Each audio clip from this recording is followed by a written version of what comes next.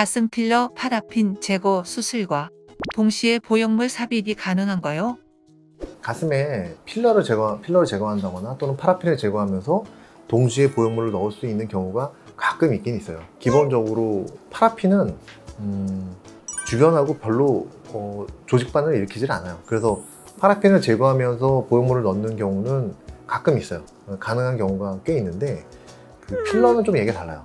필러도 또 종류가 있는데 어, 얼굴에 쓰는 히알루론산 필러, 히알루론산 필러 같은 경우는 뭐 굳이 제거해야 되냐 그런 것도 이제 논란이 좀 많고 그거 말고 이제 그 문제가 되는 그 아쿠아필링 필러나 어메이징 겔이나 이제 그런 식의 것들은 어, 제거하면서 동시에 보형물을 넣으면 안 돼요.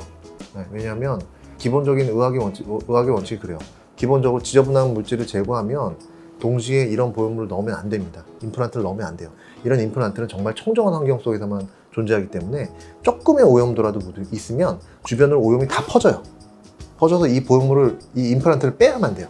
어, 이건 몸의 어딘가에 있는 임플란트 다 마찬가지예요. 인공관절이든 뭐든. 그래서 인공관절 이런 거 할 때도 굉장히 위생 신경 쓰면서 수술하거든요. 그래서 그런 거예요. 조금의 오염이라도 있으면 그 임- 그 임플란트를 빼야 돼요. 어, 유방 보형물도 임플란트라서 마찬가지입니다. 그래서 필러 종류는 좀 달라요. 필러, 필러 종류는 그 조직 반응을 일으키고 오염도를 만들 수가 있어요. 그래서 어, 동시에 하는 거는 저는 반대예요. 어, 우연히 이- 운이 좋아서 필러를 제거하고 보형물을 넣었는데도 운이 좋아서 아무 일 없을 수도 있어요. 하지만 어, 몇 달 또는 몇 년 지나서 필러가 좀 더 녹으면서 염증이 생겨서 보형물 빼러 오시는 분들이 되게 많으세요. 예, 예.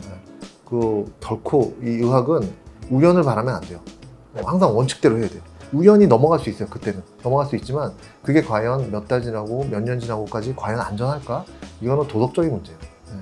그래서 저희는 그런 걸 절대 못해요. 예. 위험한 길을 걷지 마세요. 어, 안전한 길만 걸으세요. 죄송해요. 안전한 길만 걸으세요. 저는 그렇게 할 수밖에 없습니다. 제 영상을 보시고서 뭐 더 궁금하다, 뭐 이거는 좀 어, 알고 싶다 이런 게 있으시면 음, 카카오톡 어, 병원으로 보내주시거나 아니면 뭐 저희 병원 홈페이지에 들어오셔서 온라인 상담에 글을 남겨주시면 제가 또 답을 해드릴게요.